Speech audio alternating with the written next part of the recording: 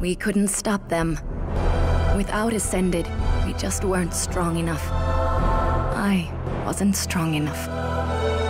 The Guardians branded us heretics, destroyed our machines, and left us helpless against what was coming.